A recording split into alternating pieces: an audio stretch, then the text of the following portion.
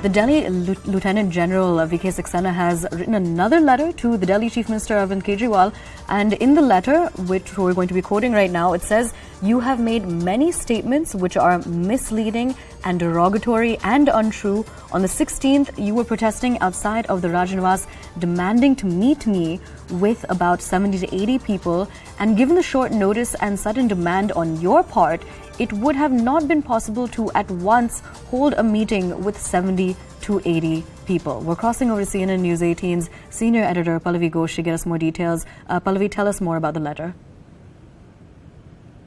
Uh, well, I mean, uh, this is yet another letter which once again exposes the confrontation between the LG and the Delhi Chief Minister. And frankly speaking, we have been seeing what has been happening inside the Delhi Assembly uh, with the Chief Minister accusing the uh, the LG of hindering their work, the LG saying, okay, I'm inviting you.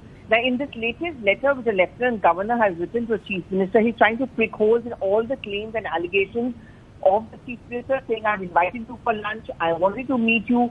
But these are the details that he's giving up of instances when there has been dereliction of duty or open allegations against the LG's office when without any substance to it. I think this is going to add on to the chaos and if you look at Arvind Kejriwal's tweet a short while back when he talks about the failing law and order situation in Delhi in the context of Swati Maliwal also facing that kind of harassment on the streets of the national capital, that confrontation between the two is expected to escalate.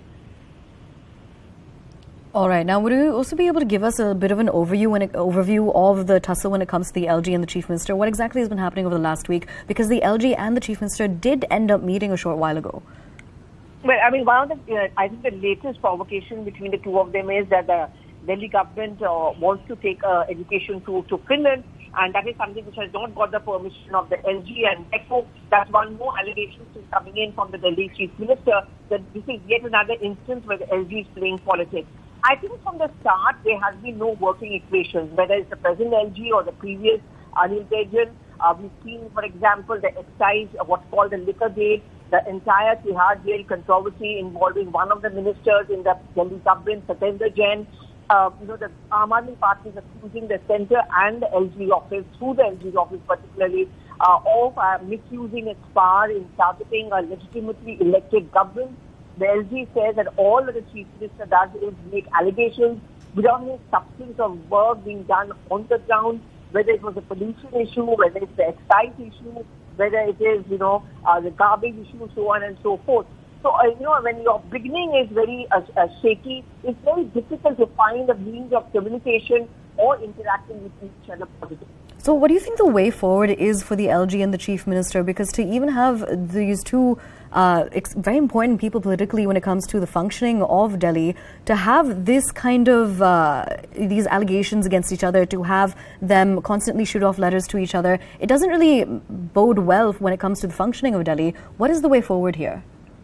Well, you know, uh, this usually happens the case when you have a different government in power at the center and the state. I mean, you know, Delhi is not even a complete state. And I remember when Sheila Dikshit was the chief minister of Delhi, uh, one never saw so much of a confrontation taking place between the LG's office at that point of time and Sheila uh, as a CM because both of the governments were uh, or, or belong to the same party. These are two political parties. Somewhere politics also comes in because AAP is seeing itself as a main contender to the BJP. The BJP is quite wary of the Aam Aadmi Party. We saw that happening in Gujarat. So mm. there is going to be that flexing of muscles. And if AAP insists that LG represents the BJP, uh, then of course I think there's going to be an element of distrust there's going to be lack of communication. And the LG winds up his letter by making the point that I'm not speaking as a lieutenant governor, I'm also speaking about a citizen of Delhi. And I don't see any work happening on the ground.